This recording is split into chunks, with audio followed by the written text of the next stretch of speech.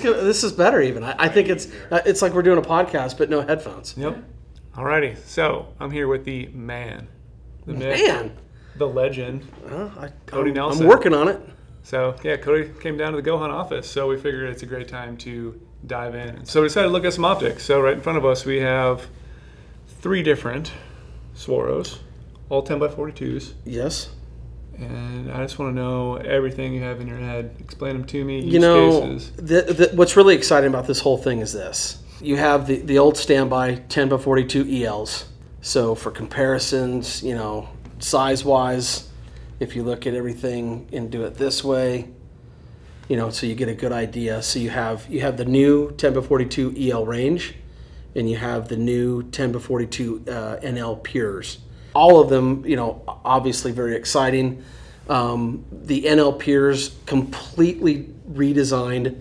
So the, the, they've elongated the uh, prisms and twisted them, and that's why you see an enhanced and feel an enhanced er- ergonomic feel. It's also put your fingers in better place for the for focusing. Um, you know, they they it's I don't know how to explain this, but they feel smaller than they are. They really do in your hands. They, they feel really great. To The- just Um, these are right at 30 ounces, and they I just can't get over, um, you know, how they feel when you put them to your eyes. Um, the the next thing that you're going to notice about these is the field of view. Uh, the field of view literally uh, is now on a 10 power um, is 399, which is basically what you would typically get out of an 8 power. It's crazy. And so, you know, for real time, you know, like guys are going to say, well, why would I use these versus just the regulars? Or so imagine a guy that is hunting dense wood forests, or, you know, maybe he's, um, you know, just in, in not so open country. And that, but he's trying to tell points and inches and you know, or you know what something is. But you, you know, maybe he was used to using eights, and he thought, well, I didn't want to go up because I, I didn't want to lose a power. Now he's got the 10 by 42 NL Pures. That literally the field of view changes everything, Brady. Um, I, I really, really think that, that this is going to um, change people's thought process when they start um, uh, d- trying to decide do I go eights, tens, 12s. And I know we have another video planned for, for 12s and those. We'll discuss those later. But I- I mean, I got to be honest with you. One of the biggest questions I'm getting right now is do I go with, you know, eights? Do I go tens? And uh, I, I mean, for guys that are trying to do dual purpose, I don't know. I, I almost don't know why you wouldn't go tens sometimes because you're getting that wider field of view. Yeah. You've got that extra power. I, I think it's a phenomenal choice. What would you say the biggest similarities, maybe some differences too, from between the standby ELs and now the Pures? Are they Um, similar the, the, the optical performance is going to be really, really close. I, and I'm not going to lie, not going to pull punches. I'm going 10 by 42 NL Pures simply from I, am amazed at the field of view, and, I, and I immediately see the benefits to that. But don't kid yourself. At 21.99, this is still one of the best pieces of glass on the planet Still legit gold and, standard. and it's and it still needs to be treated that way. Um, it's a phenomenal piece of glass. Again, I give uh, just the slight edge goes to the pures, you know, glass wise, only because you're getting that wide field of view. But the light transmission on them is phenomenal, um, and I, I, I just can't be more pleased with how they turned out. I mean, just we sold a boatload of them, and they a everybody the, the, the the reviews on them just come back through the roof. So it's awesome. Is there any chance or use case where you still like obviously you want a rangefinder Mm-hmm. or something, and you could still glass and do all sorts of long distance glassing with the EL range TA, right? Mm-hmm. It's still it's still going to get the job done. Still going to be in that same similarity here. What one? Okay, so this the, the new EL ranges. Something really interesting happened when they first came out. Um, if you go back in history and you kind of, you know, on the development of all this glass, the original EL ranges were made with the original EL glass, like you know, back in the early 2000s when when they were first came out. So I don't think it's not. It was still EL glass, but it hadn't received the upgrades, oh, you know, along the way. They'd already had all that in production. So the best part about these that I see right now, other than the fact that there's been some other enhancements, I think it's amazing that that these now have EL Swarovision glass, and I, I got to be honest with you, that it they wowed me. So you're, so you're basically getting the same glass you have here Yeah. and there. Now you're getting the range finding capability. Here's the one thing that shocked me though. They were able to actually move the the, the and change the, the field of view from a 330 uh, up to a to a 359. So, now you're getting a more bang for the 1042. You're getting a lot more field of view, and and, and it is when you put them on a, a tripod or when we were really testing them, it was quite phenomenal to me uh, uh, of and noticeable uh, of that extra field of view. Cannot be more pleased with the, the optical quality uh, of a rangefinder, and um, I think this is just going to blow people away. Something else to, to think about this: this is still only 32 or 33 ounces. Um, I don't think this one has the battery in it today, but th- they moved the button to the to the That's right a- side. that's a game this is. I know the archery guys are like, oh, finally. We've been asking for that for years and years. Swarovski hit it out of the park with that. You know, it, it's got the pro style, you know, uh, uh, pendulum style uh, uh, neck straps. They've even enhanced the, the mode button where that goes. Um, you know, you now can go on to Swarovski's uh, uh, app Yeah, and cool. download. Uh, you, they give you three um, uh, uh, ballistic profiles. There's a lot more to come on this. We're going to do some other tests. I know in the field. Um, ranges down to another big one for the archers. It ranged down to uh, uh, 11 yards. You know, 10.9 yards. Um, most people don't understand that that was a patent infringement, and they, they they just couldn't go down below that 30 yard or what you know 30 meter mark, and so now they can. Um, but again, I'm just super super excited at this one. 36.29 on the retail, but it is I mean it is an absolute winner when it comes to glass, and uh, and all the reports back to this point um, have just been phenomenal with its its uh, its infield capabilities. Uh, and then one other thing that they've added, and I can't be more pleased that we're even having these kind of conversations, is the, the tracking assistant. Yeah. Um, That is technology that is going to help you in the field. well, it's, you know, people say, well, and, and I want to be really clear with it. When you are within cell range and, and you have coverage, it will overlay onto Google Maps. That's crazy.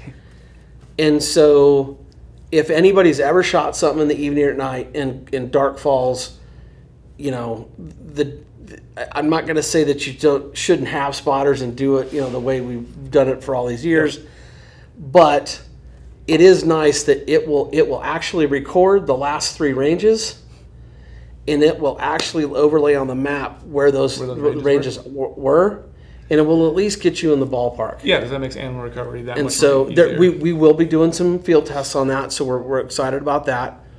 If it's not within range, it goes, uh, you know, to more of a of a directional, Mm-hmm.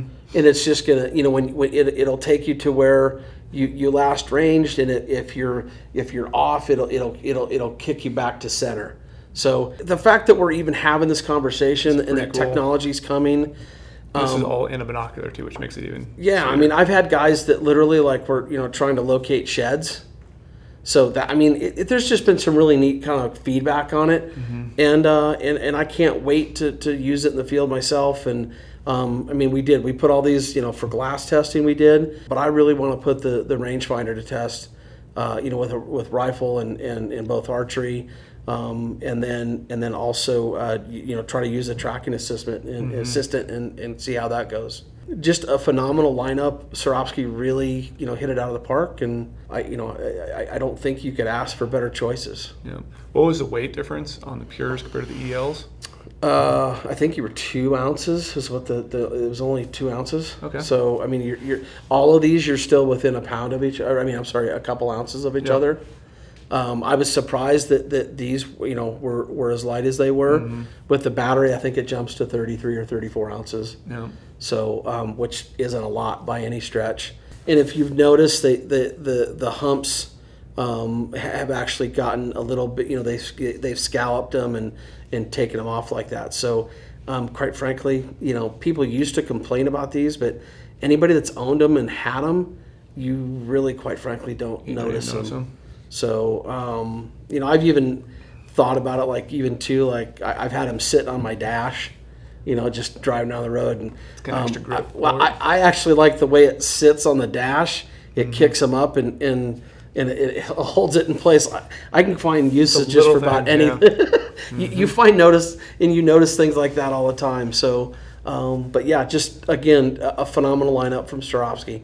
So explain to me the difference on this diopter, because as you can see here on the back of it, it actually shows your reference marks on the inside. Yeah. So what that is is that when you um, when you get your glasses, uh, you literally there's an index mark. Okay. Yep.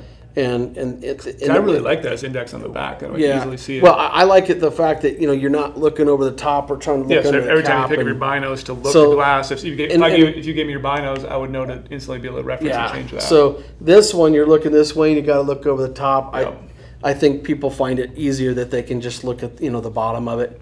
Um, a, a diopter basically is is focusing for one eye, and then you know with one eye closed, and and then coming back and focusing both eyes at the same time. So the, with the EL ranges though, you you do have dual diopters. Okay. So um, it's a fairly common question. I would always ask people to to read the manual yeah. Because One of the times um, it gives it a really good expla- explanation as to why and how you do that. Mm-hmm. But it also has to do with the readouts Okay. on the inside because you're you're you're also focusing so you get a clear read too. Mm-hmm. So uh, you know of, of, of the yardages, but um, And that's, So, some, that's yeah, something that I always take note of too, because I always have mine set, you know, for my eyes. Mm-hmm. And then when I give it to a friend and they use it, they're going to be moving it around. They give it back to me. I need to quickly find an animal. I want to know exactly what mine was, so I can instantly that's reference hundred it and put it because right back. if your buddy wears glasses or uh, you know it's very it's very common for me that almost every glass I, I pick up Mm-hmm. my diopter setting almost is always pretty much right Yeah, down the it's middle really close. so I mean it's it's it, it's within you know like you know one one click or one bar either way Mm-hmm. um, but if you're trading with you know if it's your wife it's your you know hunting partner whatever you're doing if that guy's got different eyesight it's going to be a different diopter setting. So Yep. it just uh, what it's really doing is is it's it's basically it's fine tuning your focusing. Because you can pick up any binocular and you can wheel all the way right or wheel all Yep. the way left and, and and generally get a focus out of it. But when you set your diopter setting you're, you're really setting it to the most finite most assured focus You're basically you mating it to your eye. and, and and really what does that do it helps your eye relax creates less eye fatigue Yep. So if you pick up a pair So, of binos and it doesn't look right with you, it's probably that adjustment. That's why I just love the how I can easily reference this one. And it's really easy. And Absolutely. Thing here too, it's right there, but Speaking of eye fatigue, um, one of the other things that um, is pretty uh, cool about um, these systems is that the EL range and now the NL Pure have uh, headrests. that's a good feature. And um, I, I'm not gonna lie, I you get in your ways and you think, oh, I just want a regular binocular. I don't need gimmicks. I don't need anything. Um, when you're hand holding and, and you're trying to do you know ranges out you know to distance, not gonna lie, it helps. It's giving you another anchor point It, for it, those it's giving guys. You know? it's it's giving you basically a tripod. I mean, it, it really is. Bottom line is, is I'll take any help I can get, Mm-hmm. you know, to, to give me the best and most consistent readings. After all, you know, if we're going to use that that that yardage for a shot, Mm-hmm. I think it's absolutely worth it. I mean, you owe it to the game to to be as accurate as you can. So why not be you know more accurate? At the same time, too, it'll just help you glass too. Yep. the And then NL the NL Pures, I don't know, you can probably show the camera just so they can see, but there's two little slots up here where those pin in, and uh, that's that's how you do it. I really like that feature too, being able to like lean into it Mm-hmm. and just have it rest slightly. Yeah. helps me get that Unfortunately, right now, just so you know, we're sold out of the the the head the the EL ranges. The, those headrests haven't come in. We just sold out of those and have more on the way. So, but uh, yeah, it's it's it is a um, a viable, usable. I don't believe that's a gimmick. I, I really truly believe that it helps you. Any other thoughts that we haven't covered yet on any of these three? Do you like to mention? Obviously, they're all three awesome. Buy All one of each. Buy one of each, yeah. No, it, you know, really, I, I again, Swarovski, the quality glass. You know, I'm just trying to give people the, the different views and and let them look at them from a from a, uh, a size wise. I, I think the beautiful thing that we're talking about now, and the best thing about all of this, and and and being able to do these videos, is we have more choices than we Yep. did, you know, five years ago, more choices than ten years ago. And so many options I mean, it's eyes. it out just keeps getting more and more. And and I've always said this is that you know I liken you know optics anymore. I don't know. They let us carry four. You know, in the in PGA, you carry 14 clubs in your golf bag, and there's a club for every instance. You know, and it's kind of getting. I know guys that have several pieces of optics, and they use them for specific things. Yep. That's So, well put. I like you that know, analogy. Uh, I think the biggest thing is is that if you have confusion, you don't know which one to buy, call me. Yep. Um, give us a ring. Uh, you know, go to the, the, the YouTube channel, comment. Um, we'll always com- uh, comment back. Um, if you want to have a conversation, uh, you know, call us up at the at the regular uh, 702-847-8747 and we will we will have that conversation with you and help you make the the, the right choice for what you need. And you'll be the guy they'll talk to. I, I I absolutely do everything I can to get that call right away. All right, so that was just a quick, but yet I figured it was really in depth too. Overview of this lineup of Swaros. These are all the 10 by 42s. NL Pure, we have the EL, and we have the EL Range TAs, TAs. Yes, the sir. New, the new new. the uh, the the newest of the new. Yep. So again, if you guys have any questions, easiest way for this on the video, drop comments in below. Uh, we'll have Mr. Cody Nelson respond back to you guys, or else just give them a call. And You sure- can you can also always email at optics at gohunt.com. Yep. A lot of ways Uh, to get in touch with us. yep. Optics is a big, you know, decision people have to make. So definitely, you know, take take advantage of Cody. He's here for you guys. Always willing to help.